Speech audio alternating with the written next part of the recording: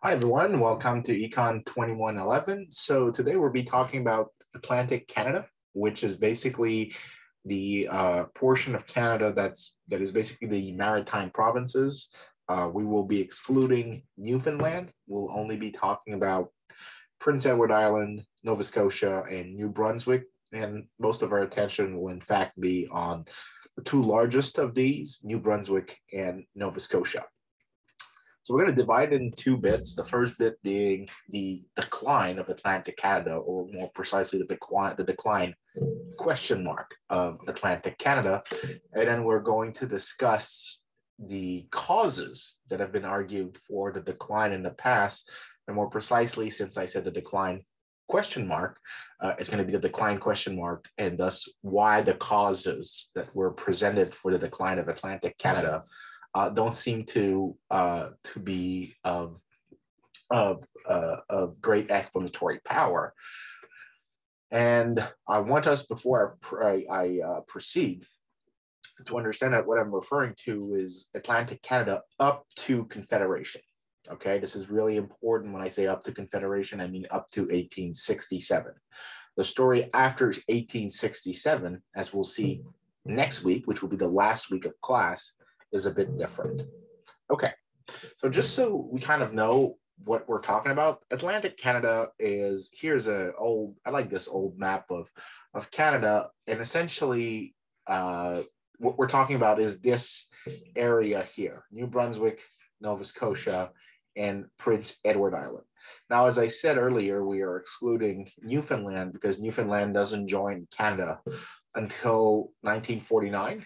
And the two initial provinces of the Maritime that are part of Canada when Canada becomes a country are New Brunswick and Nova Scotia. A few years later, the island right there, Prince Edward Island, joins Canada.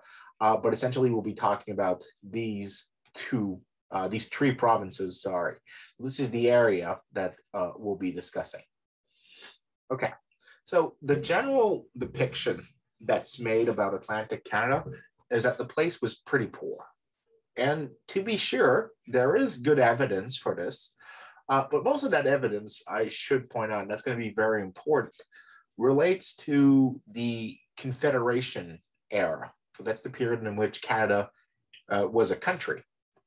And just to give you an idea here, uh, the uh, the numbers that you're seeing here is income per capita as estimated by these two guys, Kris Inwood and Jim Irwin.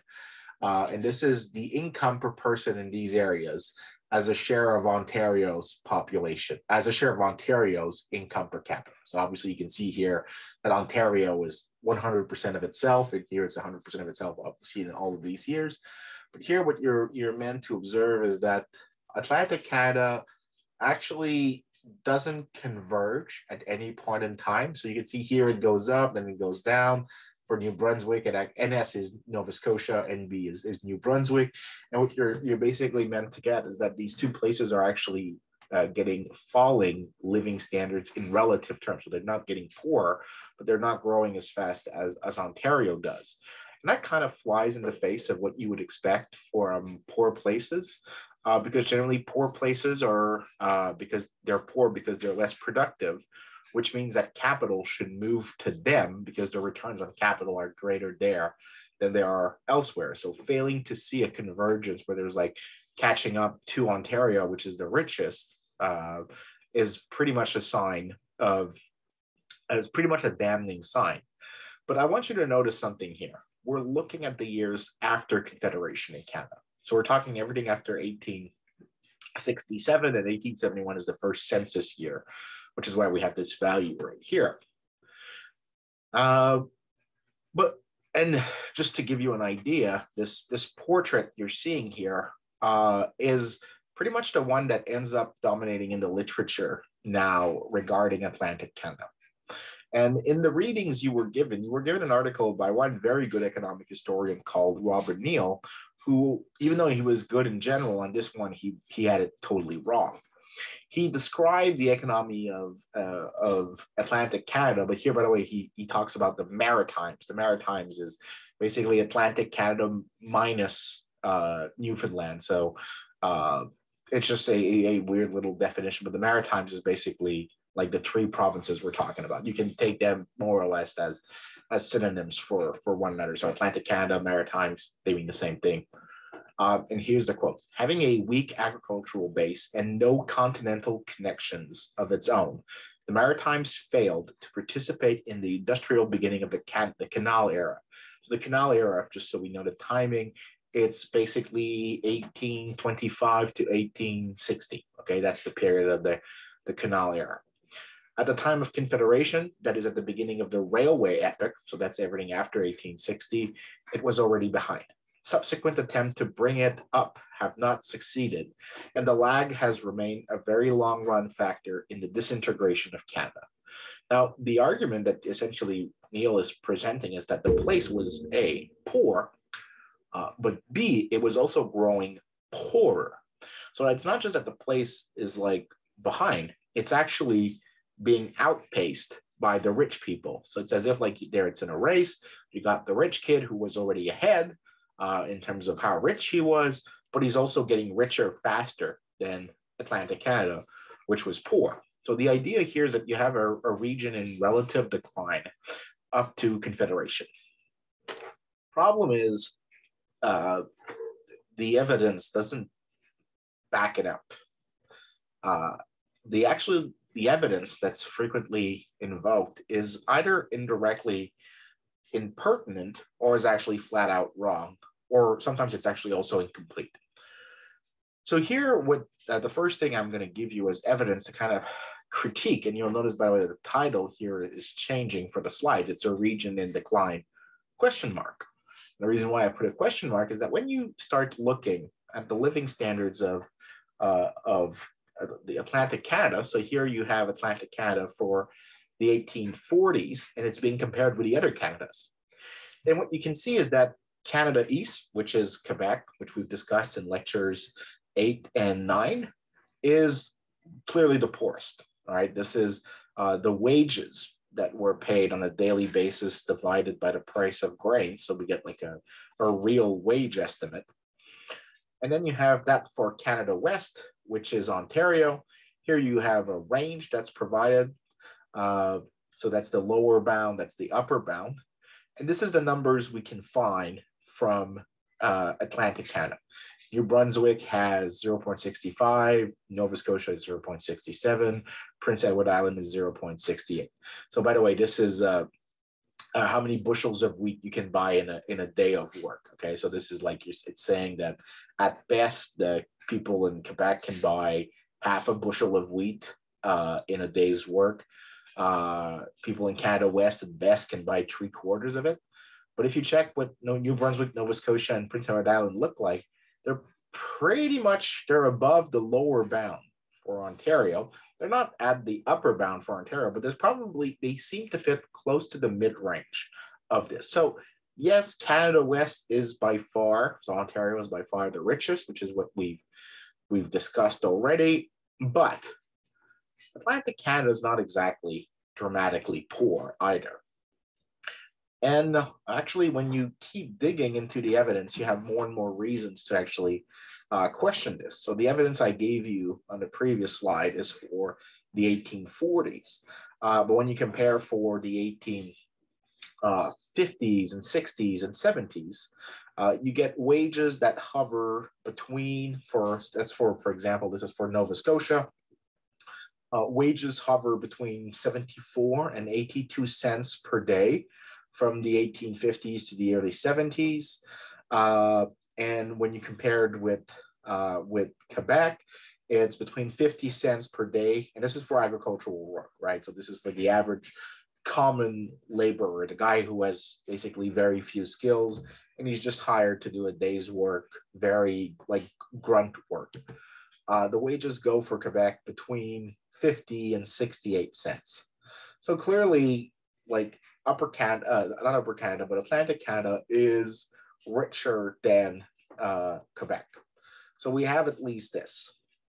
We also have other forms of evidence than just wages. One of those is by these two guys. Uh, uh, I forget the first name of this gentleman here, but uh, this is uh, Julian Gwyn.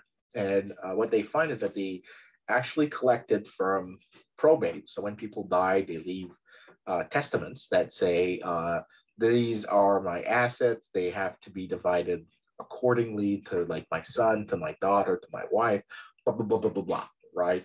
And when you die, this is like an inventory of how much wealth and assets a person possesses. So it's actually a really good source historically that people have used to measure uh, wealth, so the stock of things we've accumulated, and uh, and can be thus used sometimes to backcast income depending on uh, certain assumptions. But here, what you have is that the average probate for Nova Scotia in 1851 was $2,500, which is not a small number. That's a pretty big number back then, right? So for us today, saying you leave $2,500 for someone is peanuts, but back then that was gigantic. And uh, and not only that, but when you compare it with the estimates, the few estimates, because there isn't a ton of them, uh, the ones that also come from probates, but in Quebec, so Canada East, or a lower Canada, as it was known also, as we saw like in the earlier uh, sessions. Canada East, Lower Canada, Quebec, same thing. Ontario, Canada West, Upper Canada, same thing as well.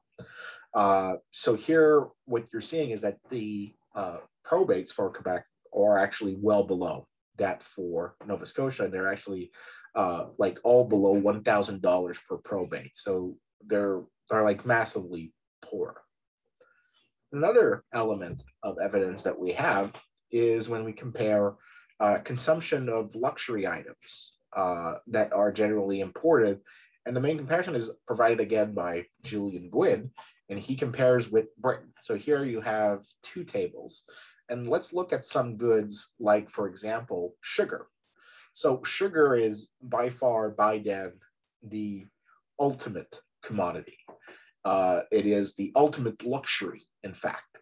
And what you can see is that the average Nova Scotian is consuming at during the 1830s, he's consuming 17 pounds of sugar per year, which is not at all negligible uh, and which you compare with like the British guy, the British guy consumes 15.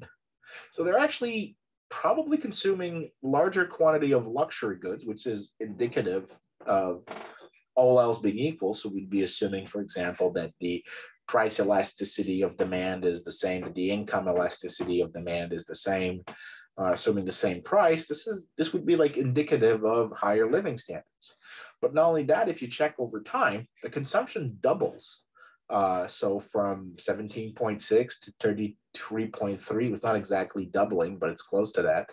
And although you see that Britain has like a substantial increase as well, and by the end, uh, Britain actually has more consumption, uh, although the years don't match. You'll notice that the last year here is for 1870 uh, to 72. Here, the comparison is for 86 to 87. The numbers don't perfectly align time wise, but both places get an increase. So, this is suggestive of uh, improvements in, in living standards. Another line that's worth looking at is tea. So, tea is like another luxury that's really valued. And you'll notice that the consumption of the amount of tea consumed per year per year more uh, close to doubles in that period as well. And if you compare with Britain, uh, the proportion is a bit more than doubling, but again, the years don't match perfectly. So what you find is that the most common luxury goods, so the goods that you would like literally call luxury, are, are consumed in, in pretty large quantities by the people of uh, Atlantic Canada. Now, uh, some of you may just notice, for example, however, that like stuff like spirits and wine have a massive collapse in this period.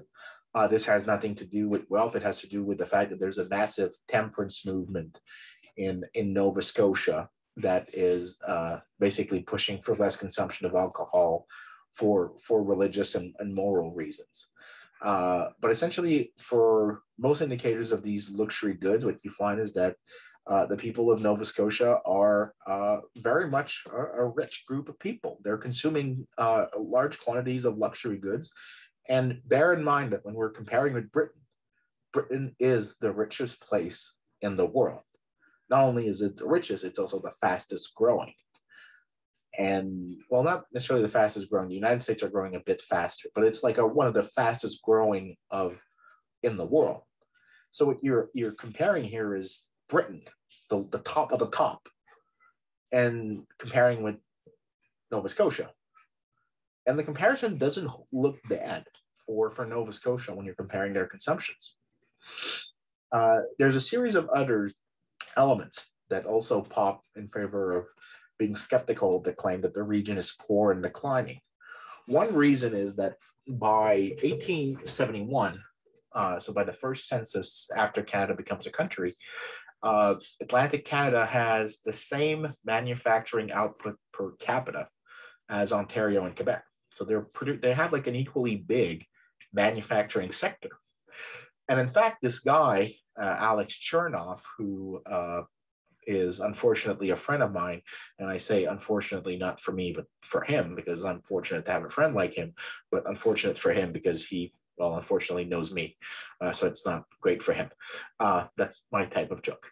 Uh, so Alex uh, made a really, really interesting discovery, which is that when you concentrated on census areas that had a certain level of population density, so that had like more than 1,000 people per square mile, the total factor productivity, which is essentially the efficiency uh, of, of a firm. Um, and uh, what he found was that the the areas, these areas with more than 1,000 people per square mile, whichever industrial establishment were there. So we're talking like any form of industry except agriculture, right? So we're talking like manufacturing. Uh, what he found was that uh, they had substantially higher levels of total factor productivity than uh, Quebec and Ontario. So the thing that was kind of driving down the average for the two colonies were essentially like the smaller rural establishment. Uh, and there's good reasons. I won't get into the details for kind of discounting them uh, for for some reason, like the number of year of months per years that they operated, the way they operated. There's like a few details that are of relevance. Uh, when you compare their actual productivity, they look they don't look that bad. Um, and by the way, total factor productivity, I don't want to get into too much details because we already talked about those uh, in lectures three and nine. So if you don't remember what total factor productivity is, go back to those. Uh, for example, when I'm talking about the, the uh, efficiency differences between French Canadian farmers in Quebec with English Canadian farmers in Quebec. Uh, that's where you'll see what TFP is. Okay. Uh, there's another really important piece of evidence and I think that one's probably the most important uh, because it theoretically kills the, the argument that there was no growth. Uh, and the answer is that imports per capita were growing when adjusting for inflations. Now, why would that matter? Well, if you did listen to my lectures, like the one on mercantilism, you will remember that we had discussed whether or not imports are a good or a bad thing to for economic development and we saw that it was actually a good that it, it, there were no there were no implications good or bad from exports or imports what we really cared about was the total volume of trade uh, but here but sometimes you could actually use uh, uh, the level of imports to be an approximation for what's happening to the capital stock why do I why do we say that? So remember that when we were in the mercantilism class, we were shown that uh, uh, that you had if so if you were in a system that had no free trade, your investments I would be equal to your savings. But when you had free trade, you had this other guy that came in that was this guy here at the end, which was the net capital outflow. And the idea of the net capital outflow, and I'll, I'll do the entire steps in a second, just bear with me for, for, for a second. The idea of the net capital outflow was that when we sell goods to foreigners, we're essentially buying their pieces of paper. So when I buy a car from, when I sell a car, sorry, to an American, I am buying from him, right? I'm by selling him a car, what I'm actually doing is buying with the car the American dollars. So I'm actually importing an asset into Canada. So the, the idea here is that the goods that leave have a flip side, just like an account book. When there's a debit, there's a credit. That's the two sides of an account ledger. So XN, net exports, is always going to be the same as the net capital outflow. So here, now that we've identified who XN is and who NCO is, and by the way, there's a more there's a, a greater detailed explanation in the mercantilism class, so you can go back to this. But let's just take the so we're starting at the top now. Let's just take the stuff you saw in intro to macro. Your GDP in the pure accounting identity. This is not an economic model, right? This is an accounting identity. Your total output is equal to your consumption, so the plus your total investment plus government spending on final goods and services plus net exports. Now, let's move everything on this side except I and XN. Why? Because we want to get savings on this side. Okay, what is savings? Savings is whatever you're not consuming, right? So your total income minus your consumption minus the government's consumption, right? Because here, if it, the, the government consumes goods, uh, well, it's basically it's spending something, so that its consumption is taken from total income. Whatever is left is the total savings. But we had seen that under autarky, right, investment would equal to savings, so savings would equal investment, which would be these guy here but we kept xn on this side. By keeping xn on this side, this is actually really good because we can replace xn by NCO. And NCO is really going to be useful for us to kind of rule out the possibility that there was not growth in, in Atlantic Canada just by virtue of imports growing. Because if on net you are importing more than you are exporting, uh, you are essentially uh, uh, selling to foreigners pieces of paper that say, here are claims to assets where I'm from. So when I buy an American car, instead of selling it, uh, I'm selling a Canadian car to an American. When I buy an American car and I give the American the Canadian dollars, the American is saying, I prefer this piece of paper that says Canada on it because I can buy assets in Canada from Canadians. It means like assets in banks, assets in businesses. I can make loan to Canadian businesses so they can increase their productivity. And this is where it's really important. The last little bit, I said they can increase their productivity. If savings is, is smaller than investment, then it means that the NCO must be uh, uh, a negative number. And since it's net capital outflow, a negative number is a net inflow. That basically means that we are, an example like this, we are buying uh, fewer foreign assets that foreigners are buying from us. So we're, we're buying fewer pieces of papers that says USA on it. And they then we are selling pieces of paper that say Canada on it. When that happens, what essentially that means is we're borrowing from foreigners. The foreigners are lending us, so we make investments. Uh, they're the, the only way they can like finance these investments, they get actually returns from that in the future. They get greater incomes uh, in the future. What they're doing is financing our capital investment. They're increasing the capital stock. But what is increasing the capital stock? Increasing the capital stock means more capital per worker. More capital per worker means more income per worker. So when you have something like this that's happening, when you have um, an increase in, in imports, uh, you are essentially uh, being, you're essentially borrowing from the rest of the world to finance uh, investments. So in a case like this, it's a great thing because it means that people really believe that there's like investments worth making in the economy that you're a part of because they offer great returns, which is why they want those pieces of paper that say Canada or whatever place you're on on this piece of paper. Uh, the, the virtue of this is that uh, if it's the case, if there is uh, an increase in productivity because of this borrowing from abroad, then it's not just that you're you're going to grow you're going to grow your incomes are going to increase but even if say your your share uh, international trade as a share of the economy uh, remains constant uh, if you are richer you can demand more from abroad. Your demand for foreign good is going to increase. So imports in the future are going to increase but your productivity also means that your exports are going to increase.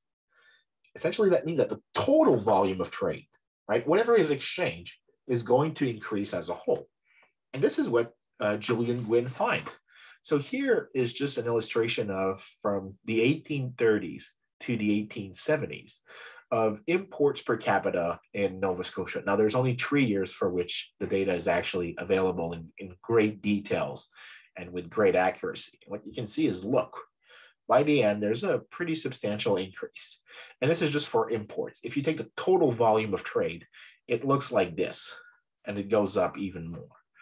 Uh, so there's like clear signs that the economy as a whole is growing more productive. And that's a good thing, but it also rules out the possibility of the place not growing. And I also want you to bear in mind what we had seen in the class on, on Upper Canada. I had shown you some estimates of the living standards in, in Upper Canada, and they were high, but the growth in Upper Canada wasn't exactly phenomenal, right? It, it was high, but it wasn't growing fast. Uh, it was growing in aggregate terms fast, but living standards were not increasing very fast. So the, the living st- like the income per capita was increasing year to year, but the increase wasn't like like a percent a year. It was closer to 0.3 percent a year or 0.5 at best. Uh, but here, what you're getting is pretty much the same pace as Ontario in the long run. So you're kind of forced to rule out the possibility of of a relative decline, or at the very least find it highly implausible.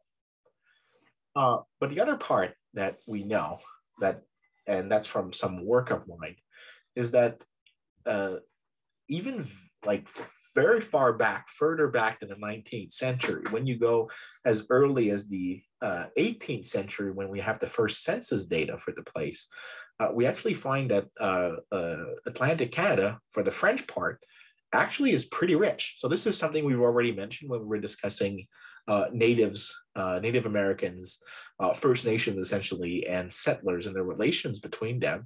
And here I want you to give attention that the area we want to look at is Acadia, Acadia being the French-speaking areas of Atlantic Canada around the beginning of the 18th century. And here income is expressed as a percentage of the other French speaking colony, Quebec, New France. Uh, and what you can see is, oh my God, the Acadia is somewhere between 65 and 100% richer. It's like, wow, the place is pretty rich. And in fact, it looks like there's even the possibility that the place is as rich as New England that's a pretty damning statement because it's suggesting that the region never was a poor region by the standards of the time. It was actually like a pretty rich region, and it historically was so. And finally, um, you, uh, so I've mentioned this first point here, uh, well, half that first point. Uh, the, the reason why a lot of people have argued that there was the region was poor is that they focused on uh, on uh, the agricultural sector, but it's forgetting the fact that the Atlantic Canada had a rapidly growing timber industry, shipbuilding industry, shipping industry, uh, and that the low incomes in agriculture aren't reflecting living standards as much as agricultural incomes reflect in, say, Quebec and Ontario, where agriculture was a much bigger deal. Uh, in that region of the world, in Nova Scotia, and New Brunswick, uh, they're not capturing the mainstay of total income. So they're not as representative. So, and this can be seen just by the fact of the importance of these other sectors that tend to be geared towards international trade to, to a higher degree. Uh, and the thing is, is when you consider not only the importance of, of these sectors, the shipbuilding, timber, and shipping industries, uh, not only check their importance as a share of the total economy, but you also check how much their output increased over time. You're further forced to reject the possibility that the region declined in relative terms. And clearly, it's not clear if it caught up, if it closed some of the gap, but there is no clear signs of, of a decline, which if you combine with the ones on uh, on imports that we've just mentioned, it's really hard to keep that position. For all intents and purposes, it appears that Atlantic Canada, up to 1867, up to Confederation, is not one of continuous decline or continuous relative decline. A continuous decline is an absolute reduction in living standards.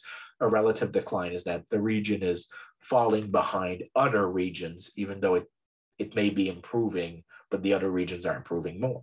So there's not there's no clear sign of a relative decline. There is no signs of an absolute decline. So you're kind of forced to say, well, what's happening? Why is it that uh, the place is is considered poor. And in fact, I, I also want to add to you that uh, if you believe the wage numbers that I've put up on the first kind of the first slide that had like the question mark, uh, well, it would be suggesting that Atlantic Canada was as rich as some of the because Ontario was as rich as some of the American free states, or the ones that didn't have slavery. Uh, we'd be pointing out that Atlantic Canada was probably as rich as these states as well. Because if it's very close, it's probably not very far behind the richest American states. So Atlantic Canada is probably one of the richest places in the world by that point in time.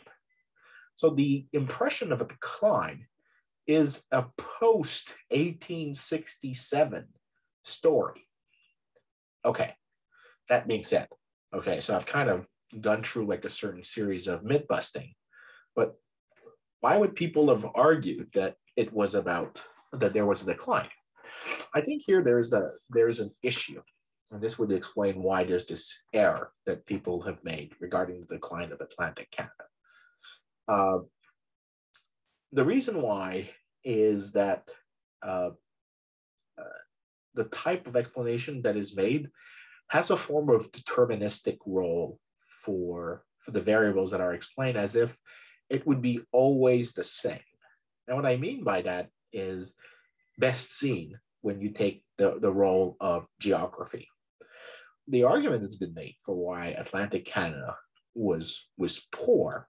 So to make to to to say that it was a poor region with decline, even though it was not, the argument that was presented was that its geography was just a very adverse geography. The, the climate was barren. The quality of land, as we'll see like the next slide, was really bad. And there's good reason. Like it's it, it is really bad. It's not great land, especially when you compare with with Ontario. Uh, but the thing is, is when people talk about geography, they seem to talk about geography as if uh, it's always going to have the same relationship. So you take land quality and you say, okay, the quality of the land is going to have always the same relationship to productivity, regardless of where you are in the world. So you have like a, like imagine a quality of acre, like say quality number one, right? And wherever you are in the globe, that quality number one is the only factor in a function that determines productivity. But that's not true. There's no reason to believe that geography is a like a uh, monocausal function and has only like one input that maps into uh, uh, uh, an image. Uh, there's no reason to believe that. Uh, in fact, the best reason why I point this out to you is think about would you prefer a bad acre of land in a landlocked area to a bad acre of land in an area where you have a port city? It seems obvious when I say it to you, but there's one setup in which the land quality just is irrelevant. And there's a good example for this. I probably have some students in this mm-hmm. class who are from Hong Kong. But think about what Hong Kong is. Hong Kong has no great land. Hong Kong is basically a rock. But yet, the reason why this rock is has has hosted one of the most prosperous population on the face of the planet. Strike that the most prosperous population on the face of the planet. The people from Hong Kong are the wealthiest in, in the world. Even though they have no natural resources, the land there is horrible. Well, they did have great institutions for sure, uh, but it's largely also because there they had like an advantage of being uh, a very very important port city. So they had like formative advantage that kind of offset the inconvenience of, of, of good land. And they were able to make the best out of it by having institutions that favored uh, uh, international trade of, of using that resource that was the port. And the thing is, you have something similar that's happening with Atlantic Canada. Atlantic Canada pretty much says it in the name. It's Atlantic. It has access to the ocean. And the reason why this is super important is back in the 19th century, uh, especially before railways, uh, it is incredibly cheaper to use sail, so to use like water transport, than to use land transport. In fact, there's an old quote from Adam Smith that goes along the lines of, it is cheaper to send a ton of wheat from London to America than it is to send a ton of wheat from Liverpool to London. Same good, same thing, same everything, except that the distance, when carried over land, makes it much more expensive than the same distance carried over sea. So maritime transport was really effective.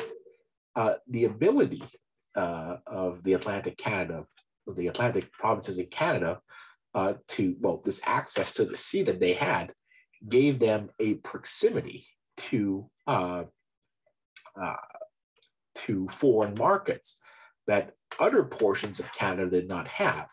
And that was a really neat advantage.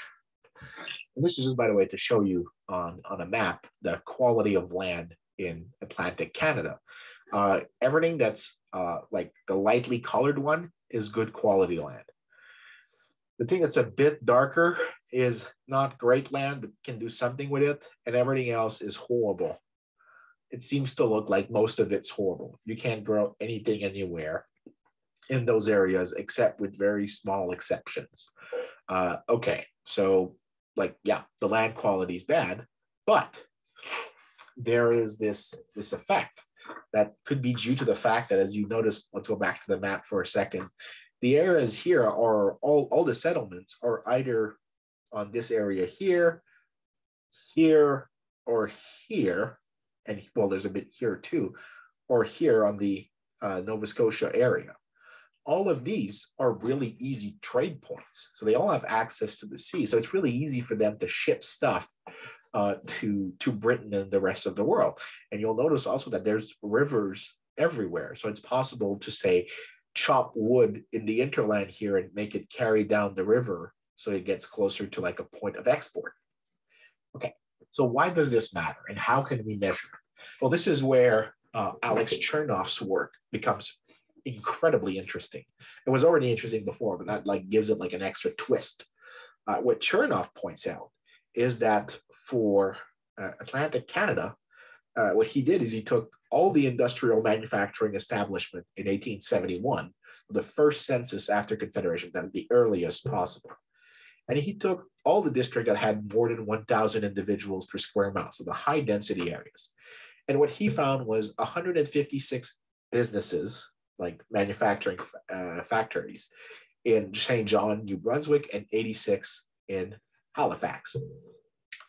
For those establishments, he calculated total factor productivity. So again, go back to lectures three and nine uh, for this, but like very simply put, total factor productivity is essentially whatever you're able to produce that isn't explained by how much capital and labor you you've used.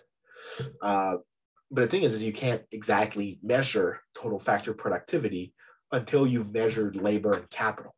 So it's like it's estimated as a residual all the time. That's why it's also called the, the Solow residual. Uh, let's not go into the details here because some of you will not have seen this yet. But the idea is you calculate it after you know how much capital and how much labor are used. But there's like a great many things that go into this residual. Uh, I argue generally that it has to do with institutions because that's the best way to represent institutions. But uh, the way institutions can have an effect is through what are known as external scale economies. External scale economies are present whenever there is like an advantage to being in a particular place. So it's not something that's like specific to a business itself. It's something that's like specific to an area where there could be many businesses. Uh, so think about like when you're uh, Silicon Valley would be an example this. Silicon Valley is basically an area where there's a lot of uh, highly productive people who are in close proximity to each other. They observe each other, they exchange information, and that makes them more productive for the same amount of inputs just by virtue of being in Silicon Valley. Uh, now, the idea from this is that it, it is a feature that has nothing to do with the business itself, but rather where the business is.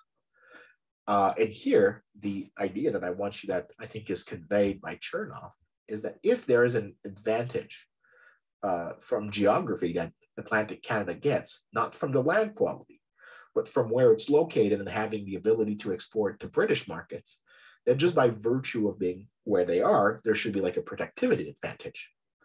And um, uh, the the idea here is that it's basically the access to the ocean that matters.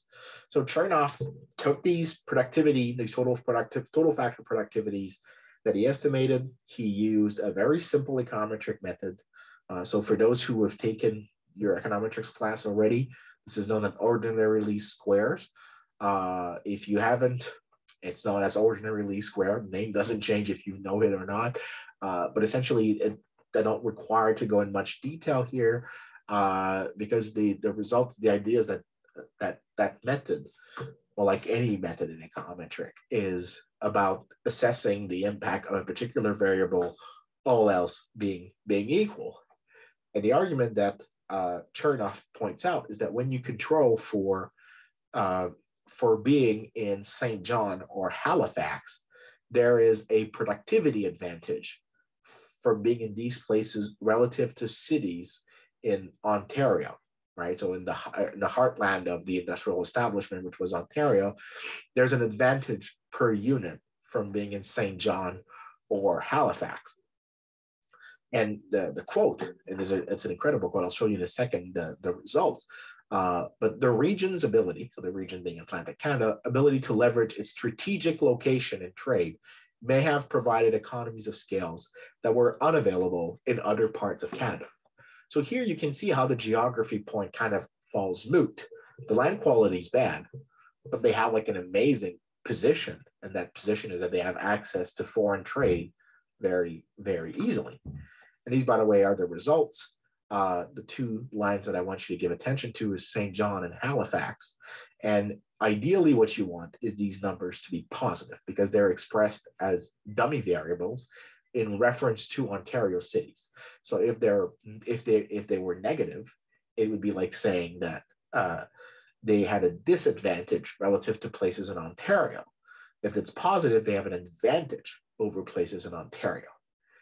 And the idea from these little stars right next to it is to say that the effect is not only like the coefficient is positive, but it is significantly different from zero. So that number is clearly a positive number. It matters. It's not just a fluke that you get from the sampling that you've used. And here what you find is in most setup, in six out of eight, which is three fourths of the cases, and this is for the industries in food, clothing, mineral output, and wood production. And this one is probably the most important. Uh, there is an advantage to these cities just by being on, uh, by being positioned close to the Atlantic Ocean, meaning that they can ship very easily uh, to foreign markets.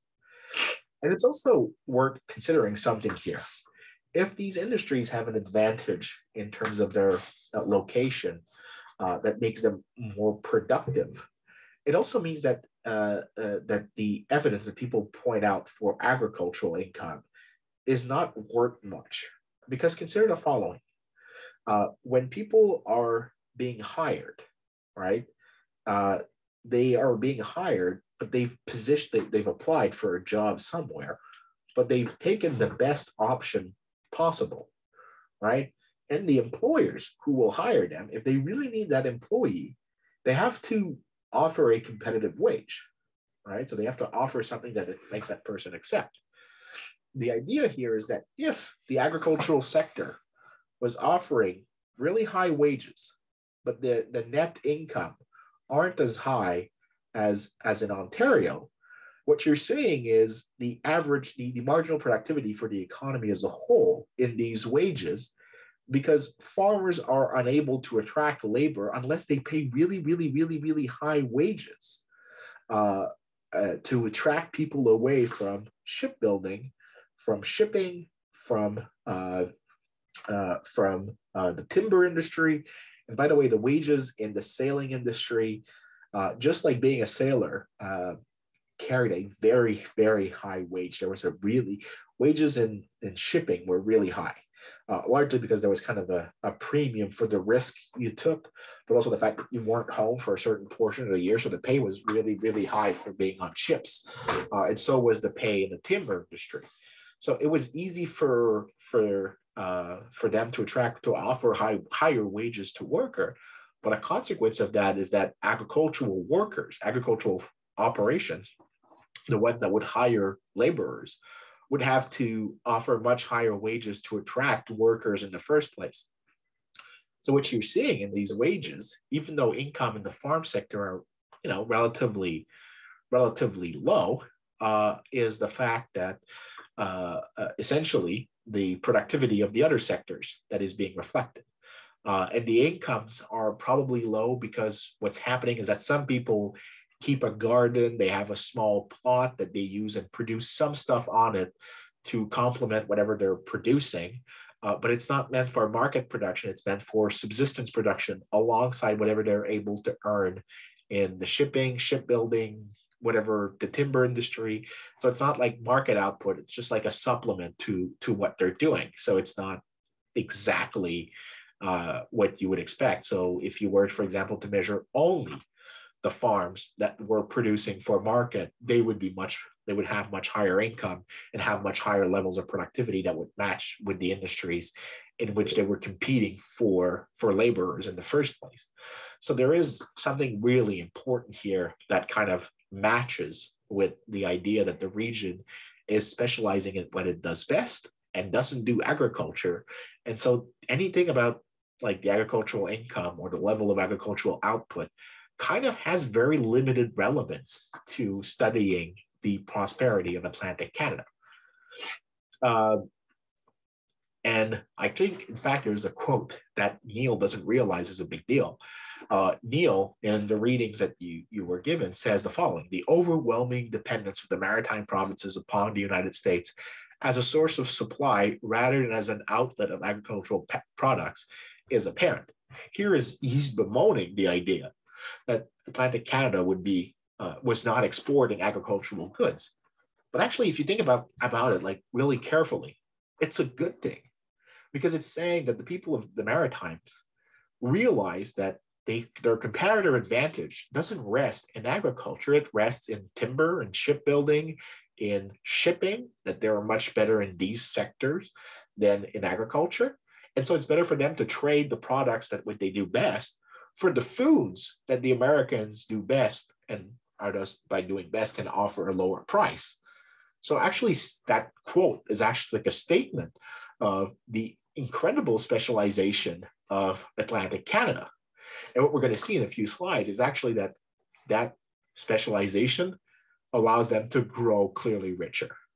Uh, now, and we're about to conclude very closely with this. Uh, Atlantic Canada. So the other, uh, when when I repudiate the argument that of geography's importance, I am implicitly importing something here of great importance.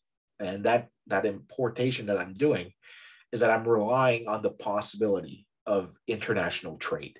And that's really important because if there's no international trade, my argument just crumbles apart. Uh, and the idea here is that Atlantic Canada is a small open economy, which means it's a price taker on world markets. And by being a price taker, you can picture that the demand, the foreign demand for its good, is essentially elastic, right?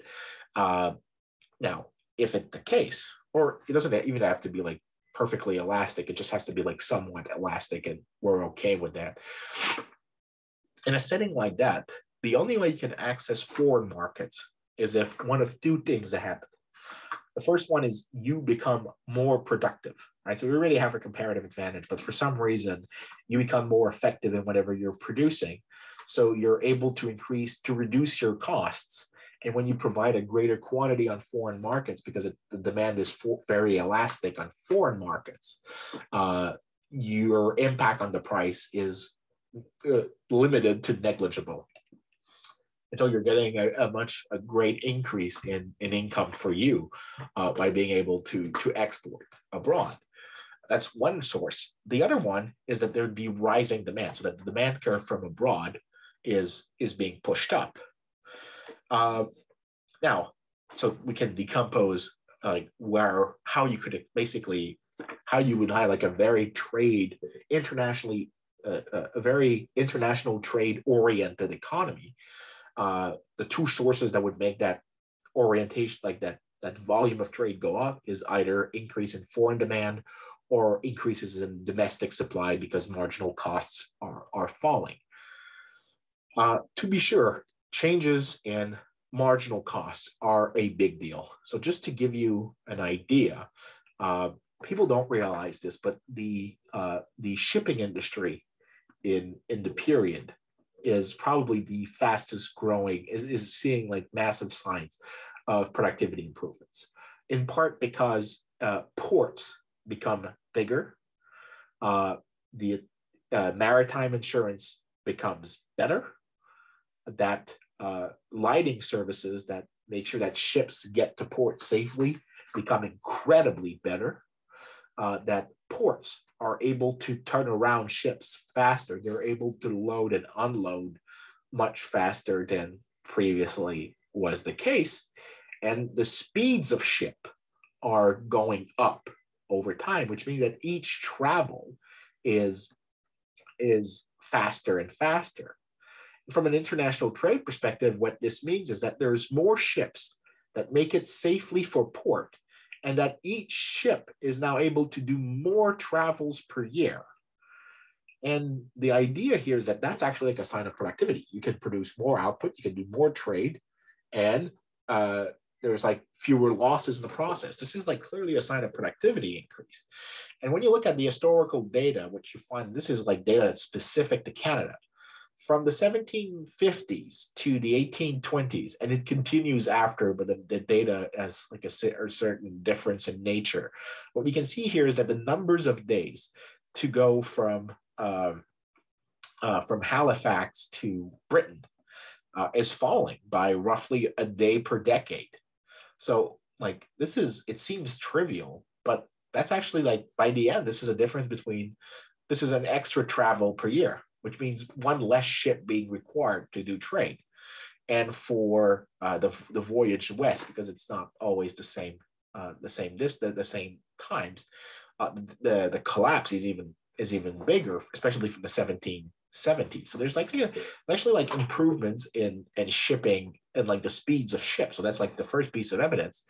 And when you create a total factor productivity index for Canada's shipping industry, from 1764 to 1860, what you realize is that until like the end of the Napoleonic Wars, there is very little sustained growth in the productivity of the industry.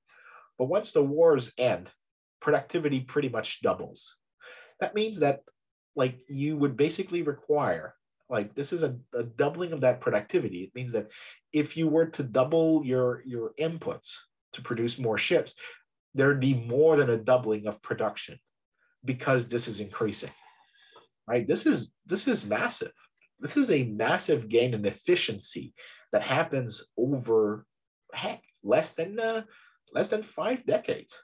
This is this is enormous in terms of of gains. It's it's hard to argue that uh, that there isn't like really rapid gains in productivity. There are rapid gains in productivity, which means that the, the maritime economy is growing more and more connected with the rest of the world. Now, with regards to demand side factors for the international trade story, uh, a good illustration of this is the Reciprocity Treaty of 1854. And in 1854, what essentially happens is the United States and Canada sign a treaty that pretty much creates free trade between the two places. It's not exactly free trade. Some people call it free trade. I think it's it's not accurate. Uh, and by the way, this is related to the second reading you had to do this week from Gwynn and Garrett's. Uh, what they found was that this treaty, essentially what it did is by removing tariffs, by reducing tariffs, uh, well, what it meant was that it became a easier for Atlantic Canada to import goods from the United States, but it also meant that other the uh, the United States would also now demand more goods from Atlantic Canada. So total volume of trade, both imports and exports, would were going up in, in that period, suggesting that these two economies would be specializing in what they would do best, right? So they, they'd concentrate on their comparative advantages. And this is just the comparisons of, and I want you to look at the two last col, the three last columns here. I just want you to look at what's happening, for example, for, uh, sorry, the four last columns. I want you to look at what happens for the levels of imports for Nova Scotia for agricultural goods. So everything for the first, so the last four columns with the first four rows. Notice that for the first four rows, there is really big increase in uh, the import of flour and wheat flour, right? From it more than trip, it close to triples. There is well, a slight decline in uh, flour meal. Uh, there's an increase in a uh, pretty big one in the amount of beef and pork that's imported, and nothing happens to grain pretty much. Now, so that's like basically what it's saying is that uh, Atlantic Canada is importing large quantities of foreign goods from uh, the United States. And by the way, just look at the volume of trade with the United States as a whole. It goes from 1600, uh, well, this is like, what, I think 1.6 million here uh, that's, that's popping up to 3.9 million. That's a big increase in trade as a, as a, as like a factor increase. But notice again, then that's, that's like, it's saying that it's importing things it wasn't really good at producing before. But then it sending to the United States stuff Nova Scotia is really good at producing, like coal. So coal in Nova Scotia, Nova Scotia has good, good, good coal deposits. And look what happens to the supply of coal. So that what they're sending to the US, it's a big increase. Uh, fish uh, items, which become basically exportable to the US, mackerel and herring, big increases in the volume of exports. Fish oil as well, uh, other types of fishes. Uh, so basically, what happens is that Atlantic Canada uh, becomes a big exporter in the things it does best coal, fish, and wood products. Look, by the way, look, look at wood products before. Wood products, there were no exports. Then trade with the United States happens, big increase in wood product. So essentially, what's essentially there's also wood products here. So this is wood firewood. So this is wood that's used like for for household consumption, and wood product also has like a big increase. So this is like staves and uh, and uh, planks. Uh, so basically stuff that you would use to like for construction work. There's a big increase as well. With as a result of free trade, Nova Scotia is able to liberate labor away from agriculture to work in sectors it does best and it's using basically the greater productivity that it has in these sectors to purchase goods that before it was producing very poorly.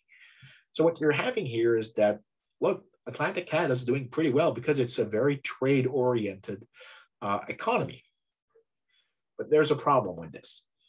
And it's not a problem for the pre-1867 period, but it's going to introduce what we're going to talk about next week, which is that uh, if by argument for rejecting the geography explanation is that Atlantic Canada was open to trade. It means that if foreign countries or Canada itself become more protectionist, uh, then what's going to happen is that this mechanism that I've talked about, this, op- this, this advantage of openness, is going to dissipate. And when we'll talk about the early years of the Canadian Confederation, this is going to be a big deal. So by the end, what's essentially going to happen is that protectionism is going to create the reduction in demand. So it's going to have the inverse effect from the reciprocity treaty and probably contribute very heavily to the relative decline of Atlantic Canada. So yes, there's a decline, but not before 1867, only after. Uh, so that's the point we'll be making next class when we talk about the early decades of Confederation. Until then, I wish you a happy week, keep safe, and enjoy your time. Cheers.